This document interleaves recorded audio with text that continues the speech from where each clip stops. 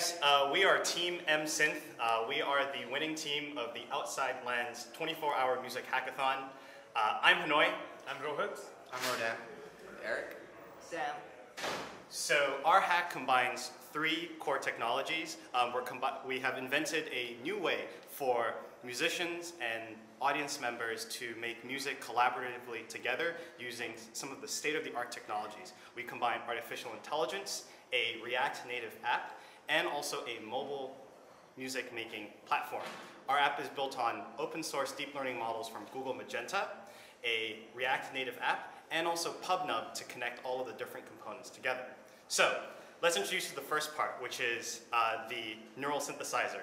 Recently, Google Magenta has open sourced some of their deep learning models, and the particular neural network that we're using um, has been trained on a multitude of different instrument sounds, from pianos to violins to guitars.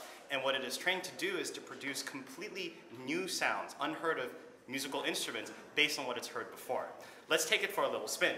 So you see here, if we move closer to the violin sound, and I play something on the keyboard, we're going to get something that sounds like a violin.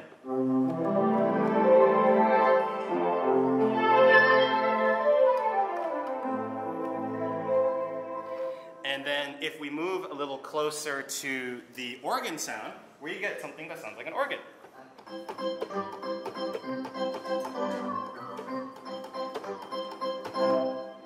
But now, if we move somewhere in between a violin and an organ, the neural network will take characteristics of the organ and the violin and create an entirely new sound by mushing it together. Let's see what it sounds like.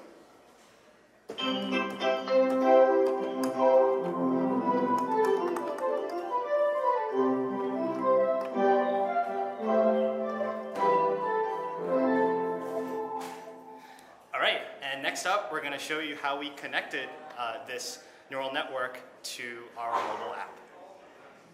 Right. So we actually built the mobile app using React Native, and this is actually what the app looks like. It takes your accelerometer uh, information and actually sends it up to PubNub, and PubNub then averages it, and then signals it down to the neural network to actually generate this new sound. So as you can see here, this is, I'm actually going to be uh, moving it on the fly right here moving it more towards the violin, and then I'm moving it more towards the organ.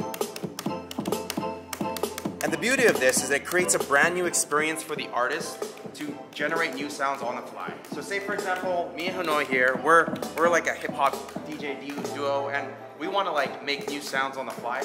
So we're here in our studio and we're actually just making new sounds. Sounds that people have never heard of before. This can also translate very well into the live performance aspect because as you can imagine, if I'm a audience who's very devoted to our DJ group, uh, we'd be getting a new experience every single time because I can just generate new sounds on the fly.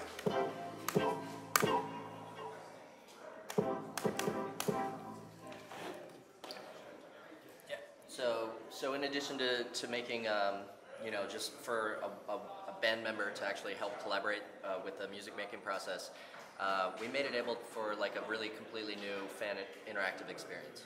So, for instance, um, if we have we have we were just showing where there was one person who was controlling, um, you know, where the neural network was in the sound generation. But now imagine, um, you know, say 10,000 people were using this app at Outside Lands, and they all had the app open so what we do is we're going to send multiple streams of data up and then kind of average out where the accelerometer data, accelerometer data is uh, pushing us into the neural network.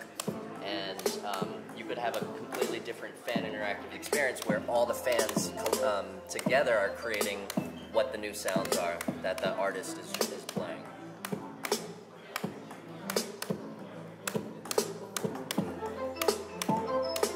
So in like a live performance aspect, right? Like uh, DJ Hanoi could, could be telling everybody. All know, right, I need everyone to tilt their phones to the left.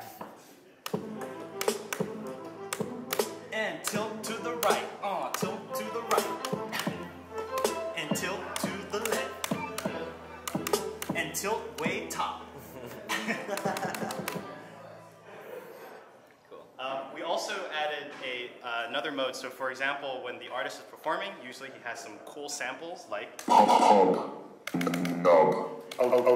outside lands.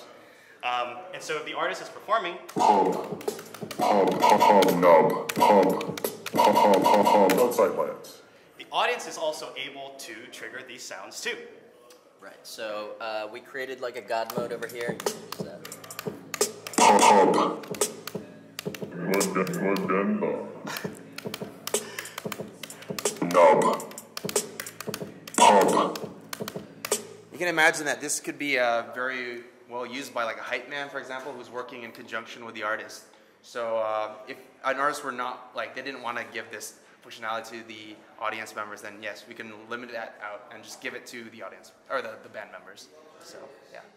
And lastly, we also, um, because the interaction between the live artist performing on stage and the audience is important, we also implemented a feature where if the artist changes the sounds that they're using, we can auto update the uh, user interface um, automatically to reflect these changes. So, for example, here,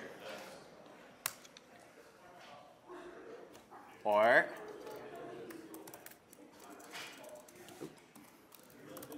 uh. So you'll see the buttons update without even me having to like close or reopen the app. Um, the artist can control. If he updates the samples, he can update the text on the buttons to match the new samples. So here we now press magenta, Madenda. Mad- Madenda. Cool. So that is a little demo, a little tour of our MSynth app. Will be uh, featured during the three days at Outside Lands. So if you are watching this video, definitely come and check out our booth. We are Team MSynth.